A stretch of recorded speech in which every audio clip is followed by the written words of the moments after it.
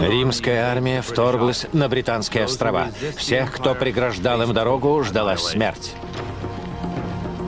Римлян было не остановить. Они вырезали все живое на своем пути, даже собак.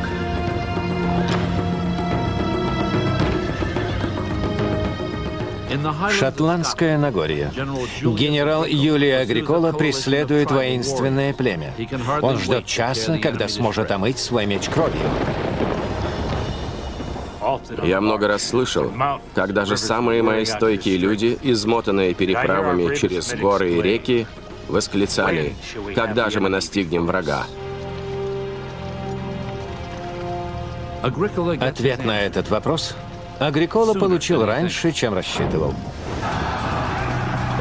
И ответили на него коренные жители британских островов, известные как бриты.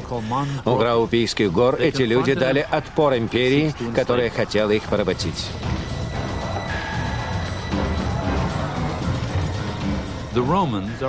Бритов было значительно больше. Каждому римлянину нужно было убить по три человека, чтобы выжить. Но их это не беспокоило.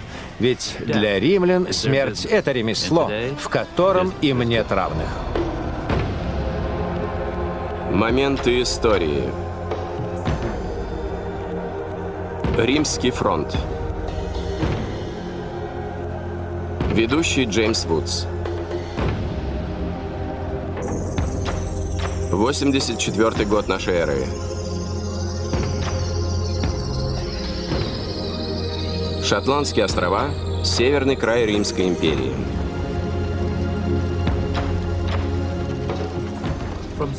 На самом деле, рейд римлян от Шотландии до Африки вызывает ассоциации с Блицкригом 20 века.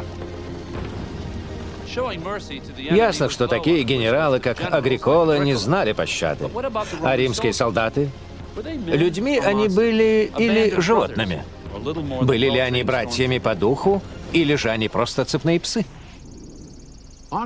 Это и пытаются узнать археологи на раскопках в Виндоланде. Среди них Эндрю Бирли. Здесь, на севере Англии, он тщательно изучает каждый камень, чтобы побольше узнать о римских завоевателях. Работать на раскопках в Виндоланде – тяжкий труд, как физический, так и моральный. С другой стороны, это такое место, которое всегда удивляет. И в итоге все наши старания оправдываются. За долгие годы оккупации здесь было построено несколько крепостей. Новые крепости возводили поверх старых. Под всеми слоями римских укреплений находится настоящий рай для любого археолога. Вот канал, по которому вода попадала в римские бани. А это скотобойня и сточные канавы для крови.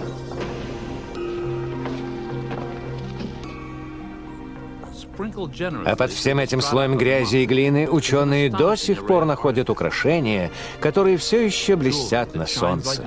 И монеты в таком состоянии, будто были отлиты вчера.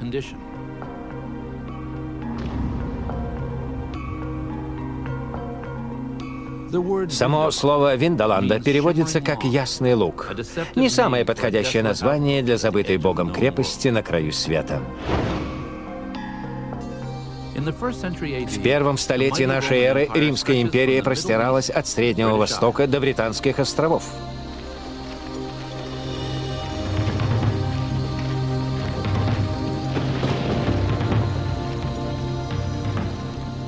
Но именно здесь, в Шотландии, у Граупийских гор, римляне впервые натолкнулись на стену. 11 воинственных племен бритов готовы были защитить свою землю.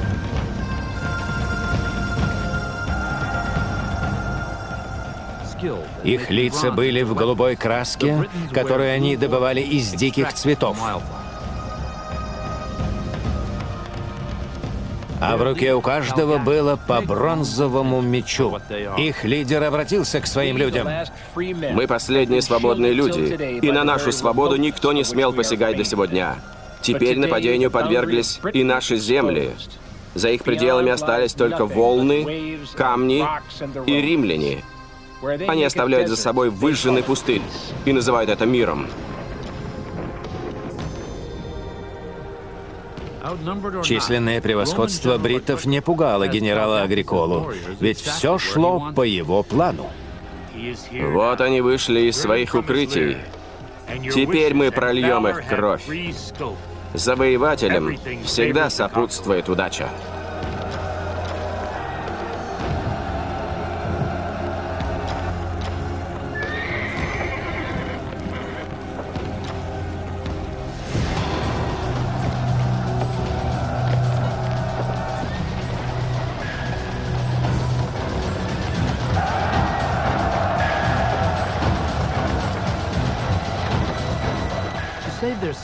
Чтобы выстоять в бою, римляне всегда полагались на заранее изученные и отработанные всем взводом маневры.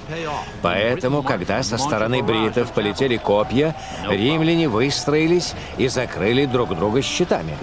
Это называется черепаха. Бритам такой зверь не знаком. Теперь у них проблемы.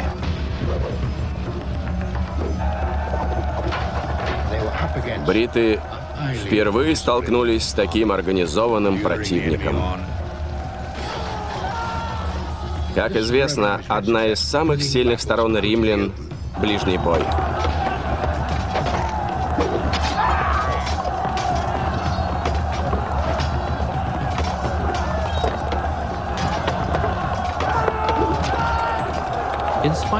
Несмотря на численное превосходство и большие мечи, чем ближе бриты подходили к римлянам, тем меньше становились их шансы на победу.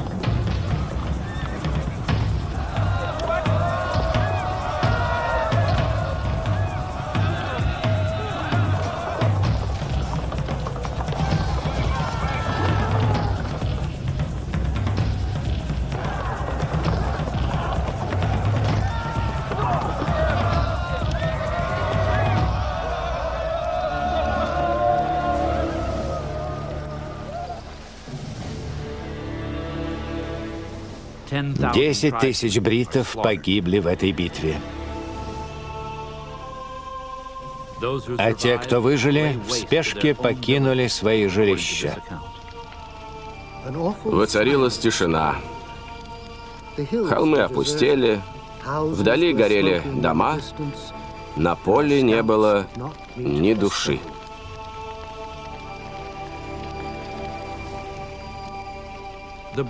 Бриты презирали и боялись легионов Агриколы больше, чем самой смерти. Они даже подожгли собственные дома, жертвуя своими женами и детьми, лишь бы это все не попало в руки римлян.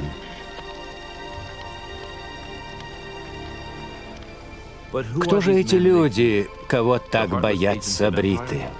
Бессердечные имперские пешки, неуязвимые в бою роботы?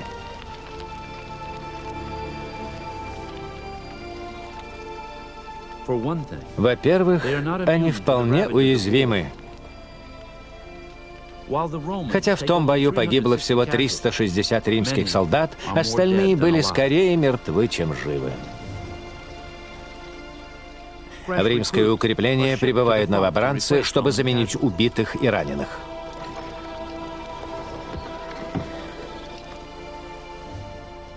Одного из них зовут Мессикус. Ему было около 18 лет, и, скорее всего, он был не женат.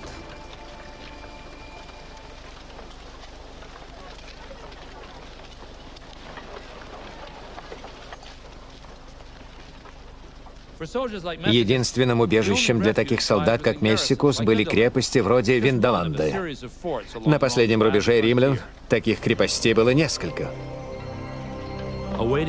Внутри было достаточно комфортно. Кровати сухие, бараки утепленные. Но вопрос в том, было ли у них чувство единства и семьи. Семья Эндрю Берли тесно связана с Виндоландой. С 30-х годов Его семья проводила здесь раскопки сезон за сезоном. Клану Берли помогает преданный персонал и добровольцы, а эксперты часто посещают раскопки. Раскопки проводятся в таких условиях, что такого рода археологию можно смело назвать грязной. Ведь чего-чего о грязи в Виндоленде хоть отбавляй, земля здесь всегда сырая.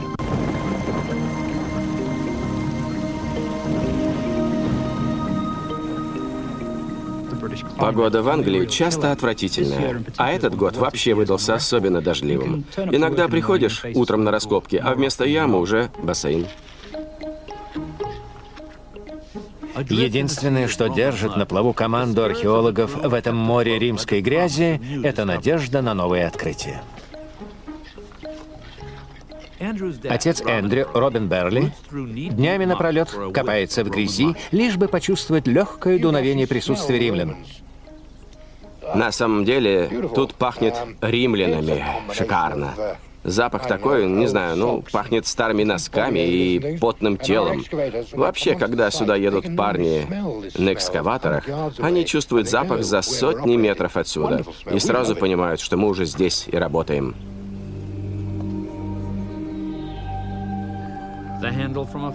На раскопках была найдена часть кувшина, значит, алкоголь у римлян был. Но нуждались они в нем по-разному. К примеру, Мессикус пил, чтобы отдохнуть от патрулирования местности. А кто-то пил, чтобы облегчить страдания при ампутациях.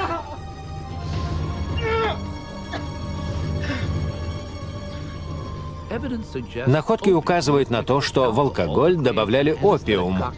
Этот коктейль – анестетик, настолько же опасный для здоровья человека, как и операция, которая следовала за его приемом. Семьей Берли были также найдены медицинский набор, пинцет, серебряный зонд для вскрытия ран и бронзовый нож для ампутации.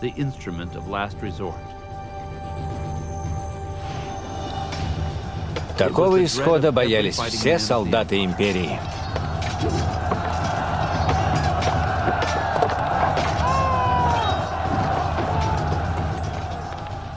Солдат получает серьезное ранение. И учитывая условия, какова вероятность успеха операции? Скорее всего, его ждет ампутация. Тони Берли.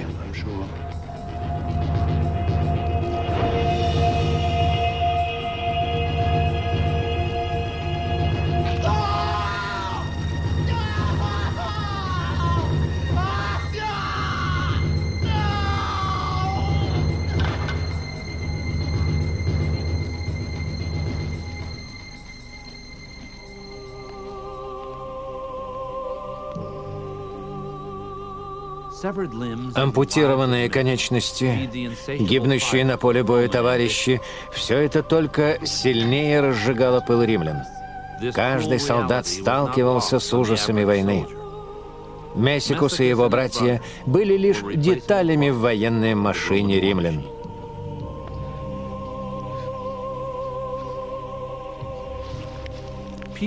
А деталь всегда можно заменить. Археологи до сих пор находят части таких сломанных деталей.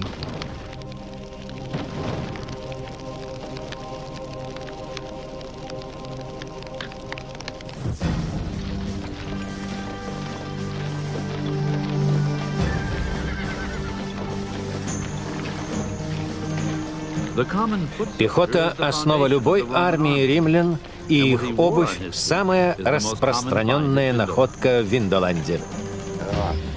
Вот, отлично, Эндрю, смотри какая. Это сандалия пехотинца. Причем дорогая. Посмотри на эти аккуратные узоры. Владелец явно не был бедным.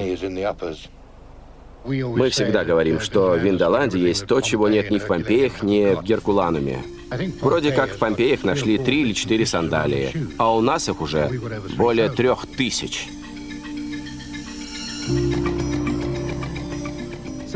Полмиллиона археологических находок по отдельности — это лишь фрагменты. А если сложить их вместе, то они начинают складываться в картину о том, как жили солдаты вроде Мессикуса. Стальное шило, его использовали, чтобы натянуть кожаные ремни на броне. Набор для починки оборудования. Гребешок для расчесывания волос. И стальной нож, на лезвии которого гравюра с именем владельца. Все, что найдено в Индоланде, маленькие детали одной большой картины. Чего ты хочешь найти тут? Хотелось бы найти что-нибудь из четвертого века. Ну да. Если туда спустишься, то потом не вылезешь. История о том, как были найдены все эти предметы, уже давно стали семейными байками. Моя жена писала диссертацию о ложках, и как-то раз нашла лучшую ложку за всю историю этих раскопок. Люди мне часто говорят, что у меня глаз наметан, но на самом деле все проще, работать надо больше. А Эндрю Берли уверен, что дело тут в каком-то археологическом шаманстве. Такое впечатление, что это место награждает находкой только одного члена нашей семьи. То есть, если мы сразу вчетвером работаем на раскопках, то никто ничего не найдет. А вот если трое из нас уйдут и останется один, тогда он точно что-нибудь найдет. Эндрю Берли. Серьезно, так всегда и бывает. Этот принцип сработал в один прекрасный день, когда отец Эндрю нашел то, что вдохнуло еще больше жизни в Виндоланду. Открытие, которое перевернуло с ног на голову все представление о римлянах. Даже если я всю оставшуюся жизнь буду ползать в ямах и копать, я никогда не испытаю такого восторга, как в тот памятный день. Это были послания от людей из прошлого, погребенные глубоко в грязи. Я увидел какие-то скользкие кусочки дерева, тонкие и очень скользкие. Я тогда подумал, странно, вроде на стружку не похоже. Тогда я аккуратно разъединил эти два кусочка и увидел нечто потрясающее. Оказалось, что на этих кусках дерева, пролежавших в грязи 2000 лет, были письмена.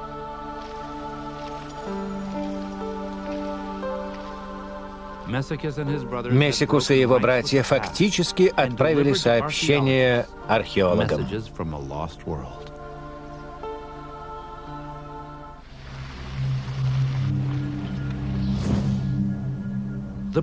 Бесценные римские письмена, найденные семьей Берли, сразу же отправили эксперту на изучение за 60 километров от места раскопок.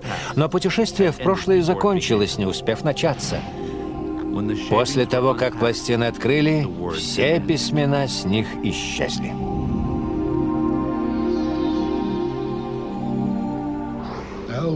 Все слова пропали.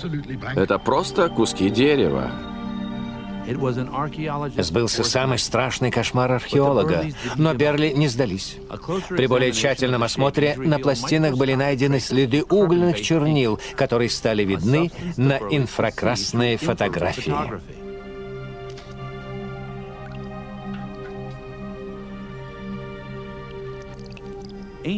История вторжения римлян в Британию упоминает всего несколько генералов и управляющих. Теперь нам стали известны имена 600 римлян в Виндоланде.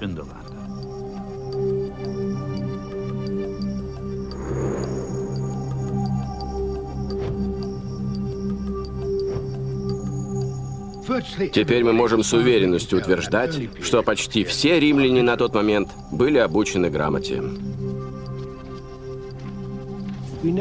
Здесь служил доктор, которого звали Маркос.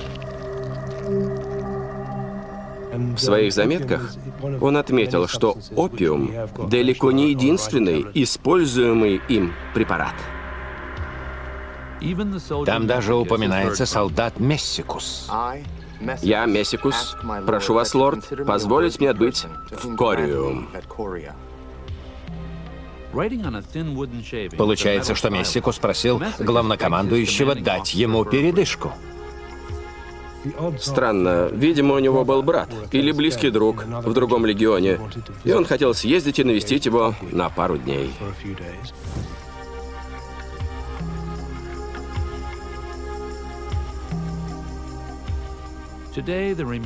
Сегодня остатки этого форта, который так отчаянно хотел покинуть Мессикус, тщательно изучаются семьей, увлеченной историей. У меня пятеро детей. Поверьте, я каждому объяснял, что есть и другие честные способы зарабатывать деньги, помимо археологии. Семья Берли занимается раскопками уже лет 70-80. Точно. Все началось с дедушки Эндрю Эрика. Он купил это место в 1929 году. Остальное уже история. Я как родился, меня сразу сюда привезли. Тогда мой отец раскапывал главный штаб крепости, а я от этого места всегда был в восторге. Это потрясающее чувство, когда что-то находишь. Особенно, когда приходит осознание того, что ты первый, кто держит эту вещь в руках за целых две тысячи лет. Так интересно изучать все эти вещи. Находить их тоже не менее интересно. Энди, посмотри-ка на это. Держи. Ну, это явно письмена. Смотри, какие тонкие пластинки. Видишь, они немного масляные. И обрати внимание на это небольшое отверстие здесь, в углу. Таким образом, эти пластинки скреплялись вместе. Мы не так много знаем, а эти штучки могут полностью изменить наше представление об истории. Так, теперь аккуратненько поместим их в воду. Отнеси их в лабораторию, пусть полежат там пару часов. Потом я их обработаю.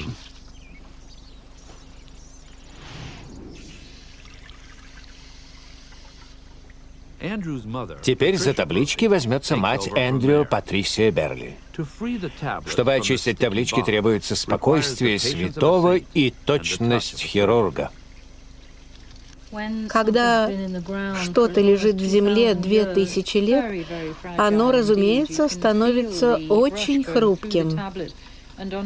Я даже чувствую пальцами, как табличка немного прогибается под давлением кисти. Такие таблички отлично хранятся в метиловом спирте. Так и чернила не исчезают. Такие вещи приближают прошлое. Сразу представляешь себе людей тех времен и как они жили. Но как здесь оказались эти хрупкие таблички с письменами?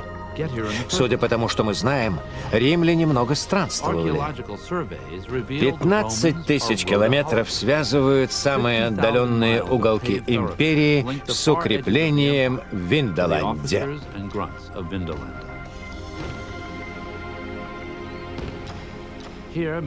Отсюда Мессикус отправлял письма друзьям и близким.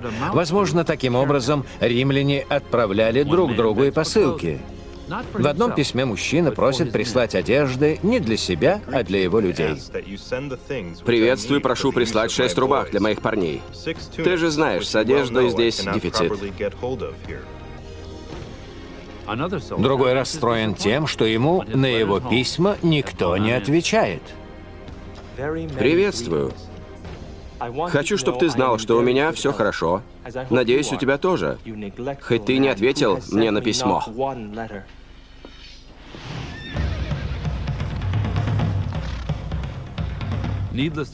Чтобы доставить одно такое письмо, требовалось немало усилий. Но письма из Виндоланда открыли историкам глаза на многие аспекты жизни римлян, хотели они того или нет. К примеру, вам никогда не было интересно, носили ли римляне нижнее белье? Если да, то вам повезло.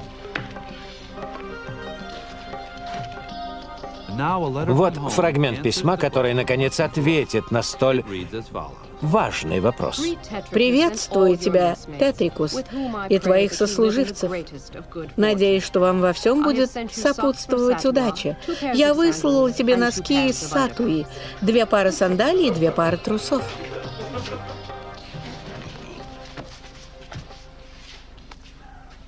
Разумеется, носки и трусы – вещи жизненно необходимые.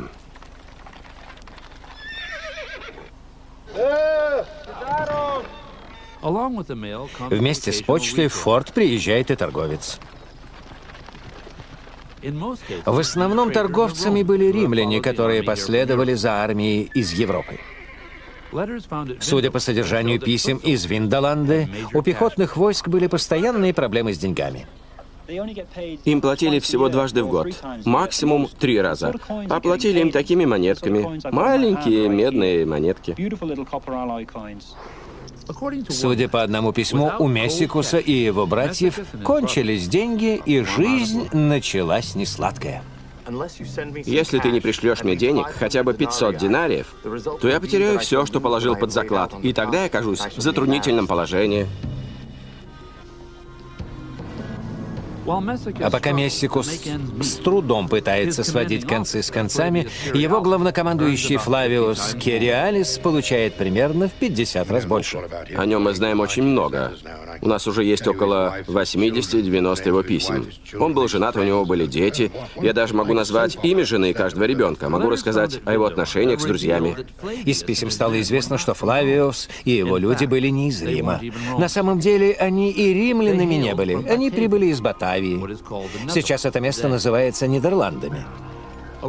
Один римский историк сказал, батавианцы — это просто военные пешки, только это и умеют, что воевать. И воевать они определенно умели. Римляне за это их и ценили. Они могли в полном обмундировании реки переплывать и при этом еще лошадей за собой тащить. Римляне использовали их в битве у Граупийских гор.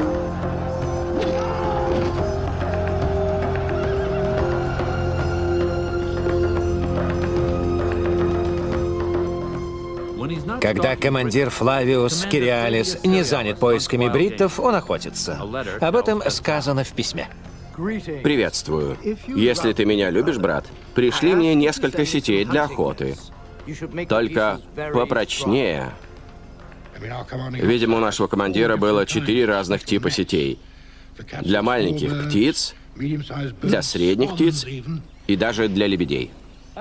Когда Флавиус отдыхал, он ни в чем себе не отказывал. Судя по спискам товаров, которые мы нашли в Виндоланде, он любил побаловать себя свежими устрицами и старыми винами. За вас!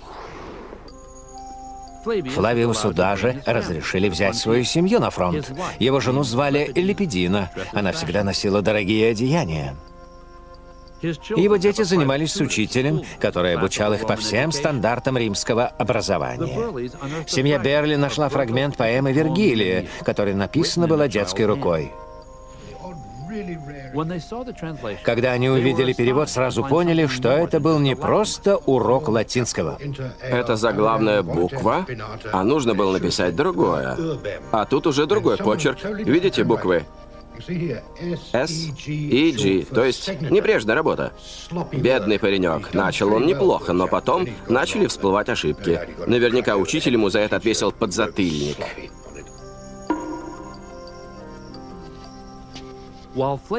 И пока Флавиус радуется жизни, его подданные не отстают.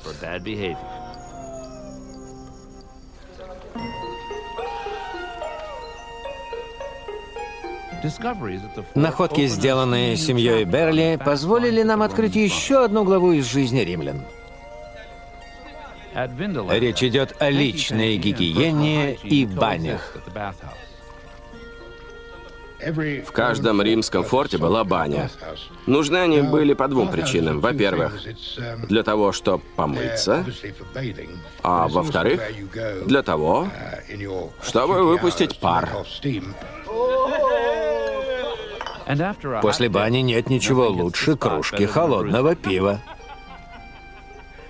В одном из писем говорилось о том, что Мессикус и его друзья часто пили вместе пиво. Будь милосерден, у моих солдат закончилось пиво. Пожалуйста, прикажи, чтобы нам его прислали. Но некоторые на пиво уже смотреть не могут, ведь где-то по пути к Виндоланде есть пивоварня. Семья Берли нашла таблички, в которых говорится о технологии его изготовления. Они даже узнали имя владельца пивоварни – Атректус. Наверное, британское пиво пахло тогда отвратительно. Хотя, если ты до этого залпом выпил 9-10 пинт, тебе уже все равно. Римляне также были не прочь время от времени удовлетворить свое либидо. Иногда днем бани Виндоланды открывались для гражданских. Есть основания полагать, что у них там была и проституция. Хотя они называли это по-другому. Таких девушек римляне называли не проститутками, а актрисами.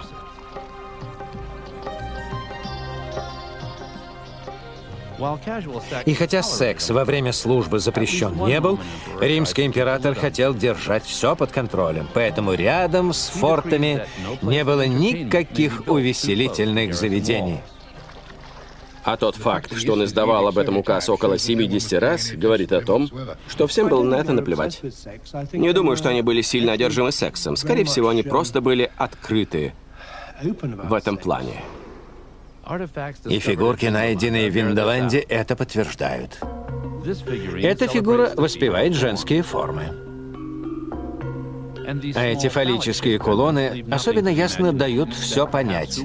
Возникает только один вопрос, кто их носил и по какому поводу. А вот эта штука к сексу никакого отношения не имеет. Таким образом, римляне развлекали себя в банях. Римские солдаты известны своим пристрастием к азартным играм. Мы нашли много частей игровых дощечек и, разумеется, костей. Кости — это такая вещь, которую сегодня используют так же, как и две тысячи лет назад. Так что не только пивом и женщинами довольствовались римляне. Одна пара костей, найденная на раскопках, тому свидетельство. В нескольких костях установлены маленькие грузила, так что каждый раз, когда их кидаешь, выпадает либо 5, либо 6. Так что они все-таки немного жульничали. На фронте Жульничество в таких делах не редкость. Мы находили весы, которые показывали один вес, а на самом деле там значительно меньше. За продажу прокисшего вина и жульничество с весами наказание было вполне серьезным. За кражу в городах обычно наказывали распятием. Даже такие менее серьезные проступки, как подкуп и клевета, карались смертью. Но на фронте роль судьи выполнял командир форта. Обычно воинская система наказаний достаточно прямолинейна. И у каждого командира взвода было право судить. И у каждого был пруд из лозы. И пускать его в ход они не стеснялись. Пропустите. Даже за самые мелкие преступления наказания были жестокими, как для солдат, так и для гражданских. В одном письме, найденном на раскопках в Виндоланде, говорится о торговце, который обманывал своих покупателей. За это его должны были жестоко высечь.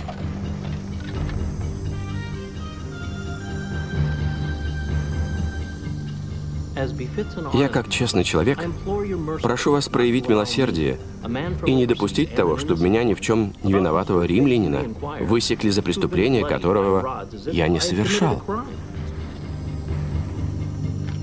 В просьбе о пощаде отказано. Семью Берли особенно заинтересовало утверждение торговца о том, что он иностранец. Это интересно получается, что он, по сути, говорит, я честный римлянин, а все эти избиения для бритов, так что бейте их, а не меня. Скорее всего, наказание римлянами бритов было куда страшнее, чем розги. Недавно на раскопках нашли тому подтверждение –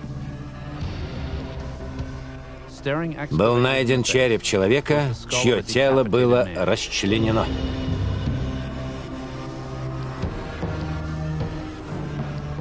Честно говоря, я немного испугался. Не ожидал, что здесь мы обнаружим такое.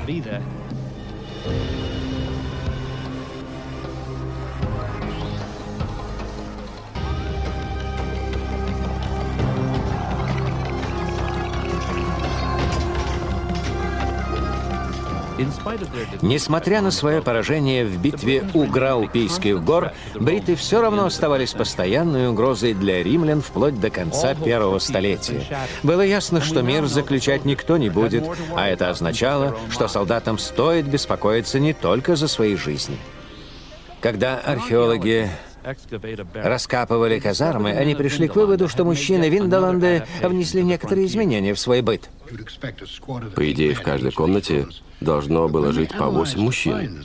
Но когда мы изучили найденные там вещи, а именно наш эксперт по коже, пришла к выводу, что в двух комнатах почти вся обувь принадлежала женщинам и детям. А это значит, что римляне заводили семьи на фронте. А люди верили, что бедные римляне жили одни, сами стирали свои вещи и так далее. Ну да, конечно.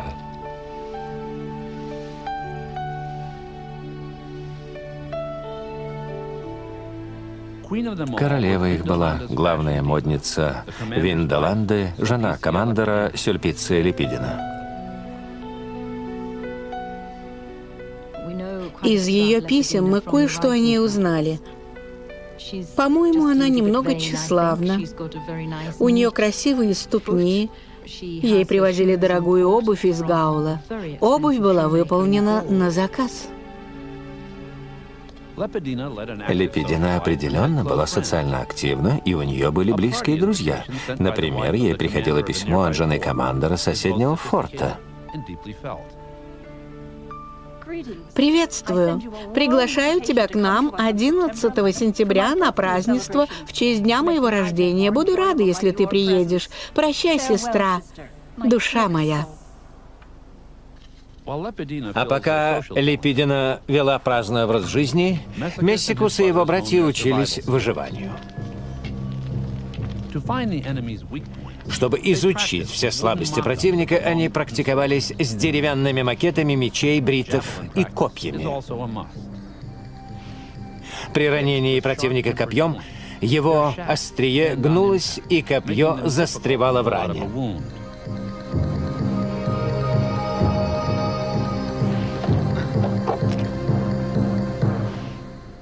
И этот древний череп — подтверждение меткости римских солдат. Они брали бычий череп вроде этого и вешали его на шест. Видите, сколько в нем отверстий? Бам, точно в цель. Возможно, копья также служили одним из первых инструментов устрашения. На наконечнике одного копья, найденного в Индоланде, есть странное отверстие. Когда такое копье кидают со всей силы, оно начинает крутиться, и за счет этой дырочки оно издает свист, что, видимо, должно было напугать врагов.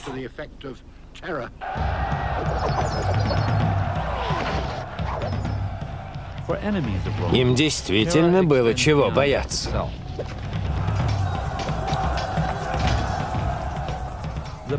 У батавианцев была давняя военная традиция – забирать с собой головы павших врагов в качестве сувенира. И, возможно, на раскопках семья Берли нашла подтверждение и этой теории. Пол головы у нас есть. А где вторая половина? Мы проведем исследование и попытаемся узнать, жив он был или мертв, когда ему отрезали голову.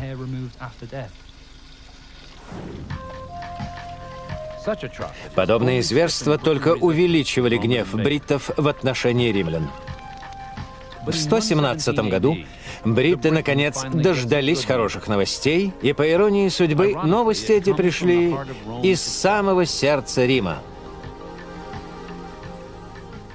Император Троян умер.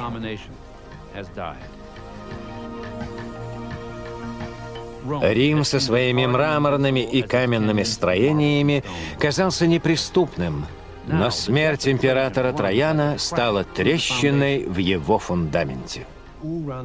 Все ранее порабощенные народы, включая бритов, вдруг восстали против римлян.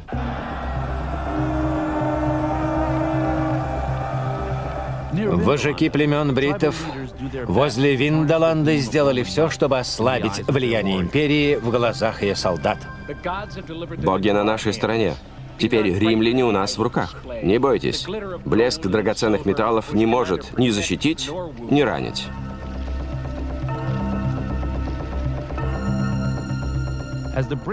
По мере того, как бриты подходят все ближе к форту, римляне начинают использовать все более сложные орудия.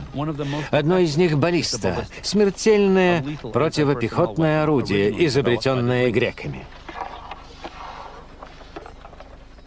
Баллиста заряжается как арбалет, а стреляет шестами с металлическими наконечниками, которые летят со скоростью 15 метров в секунду и пробивают даже самую тяжелую броню. Но не так просто будет найти цель.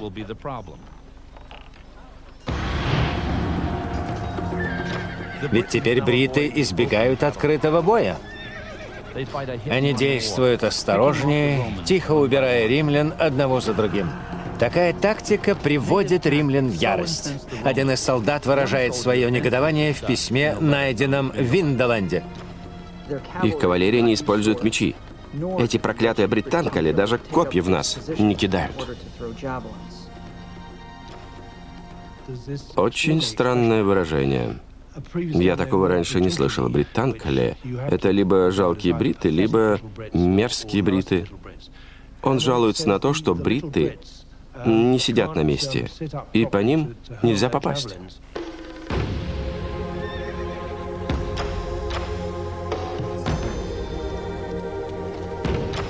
Бриты нащупали брешь в обороне римлян. И теперь Мессикусу и его братьям придется встретиться с новым врагом, с собой. Римляне не знали, где бриты. Так же, как и сегодня, современная армия не знает, где прячутся повстанцы на своей территории.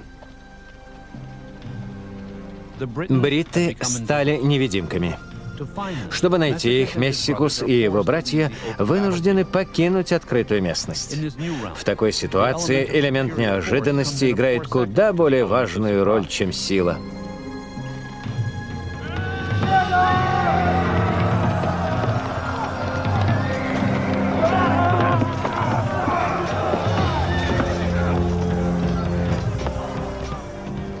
Римлян застал врасплох разъяренный враг —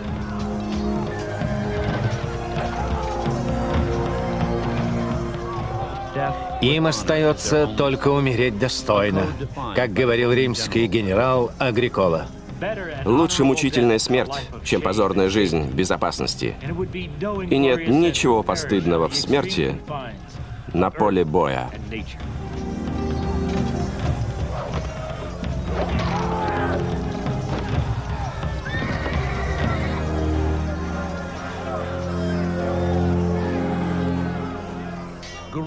На Мессикуса и его братьев обрушился весь гнев армии бритов. Возможно, это как-то связано с событиями в Виндоланде.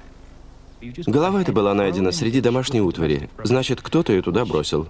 И это, честно говоря, немного пугает. Новые находки заставляют семью Берли пересмотреть свою теорию об отрубленной голове. Они начали подозревать, что череп принадлежит римлянину и убил его кто-то из своих. Здесь видны ужасные повреждения, которые, судя по всему, были нанесены ему в последние мгновения его жизни. К примеру, вот этот четкий надрез с правой стороны черепа. И здесь еще видно, что этого человека много раз ударили по голове тупым предметом, пока он падал. На месте преступления нашли еще две зацепки. Скелет собаки, а рядом человеческий череп. У бритов были собаки, но в бой они их с собой не брали. Стоит отметить, что собака тоже умерла не своей смертью. А если взглянуть на ее череп вот здесь, станет видно, что эту собаку тоже били по голове, как и человека. Так что вполне вероятно, что этот пес погиб, защищая своего хозяина. Ситуация внутри форта созвучна с событиями, происходящими за его стенами. Десятилетние конфликты, тысячи жертв вышли римлянам боком. Все это подорвало их боевой дух и уверенность в себе.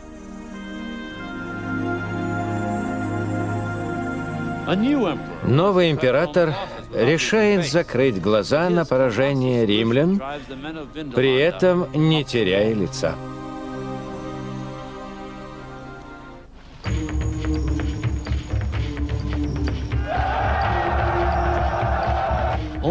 Почти 40 лет прошло после битвы у Граупийских гор. Император Адриан решил заменить стену из римских солдат стеной из камня.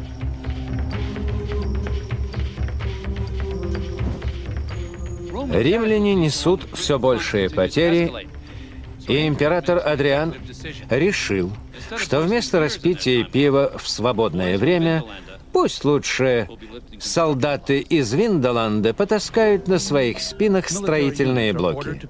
Войскам приказано построить большую стену толщиной в 2 метра и высотой в 5 метров. Чтобы работа шла быстрее, он сам руководит процессом постройки.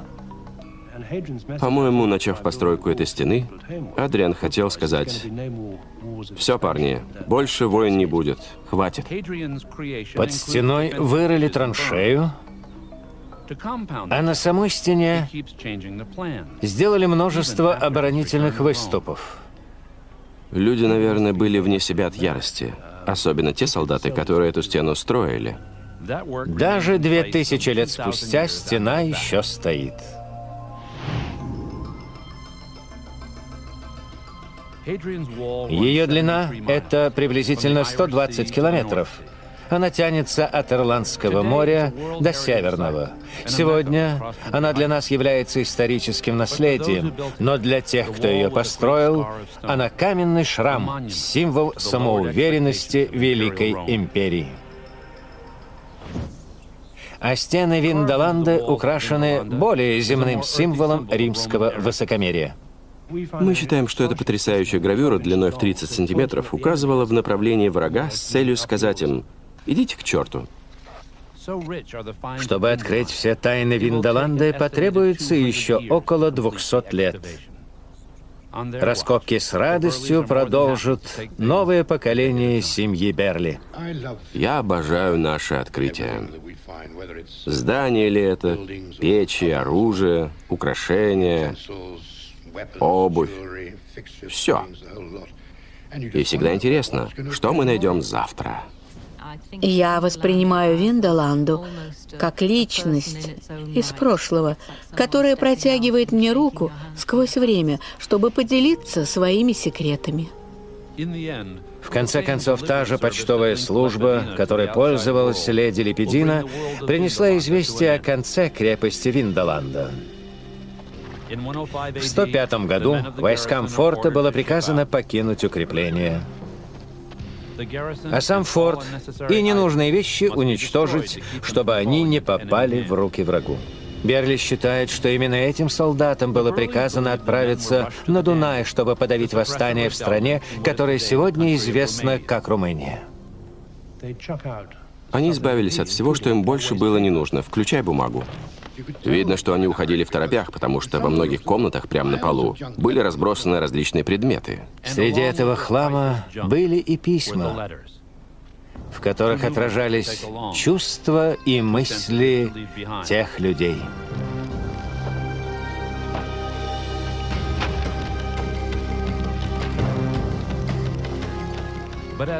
Когда Виндоланду объяло пламя, вместе с ней сгорали и дневники римского форта.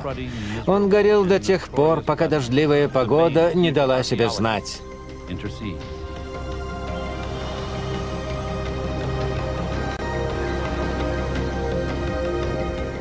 Так холодные северные дожди уберегли кусочек истории от исчезновения.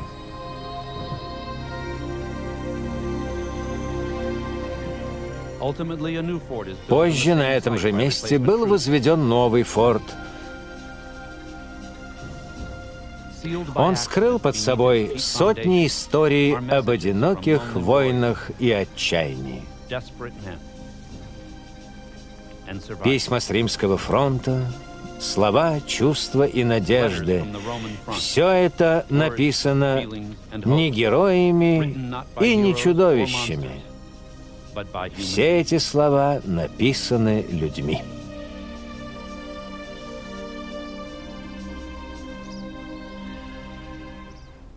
Ведущий Джеймс Вудс, продюсер Джун Молгард, редактор Ральф Герман, композитор Паула Галитана.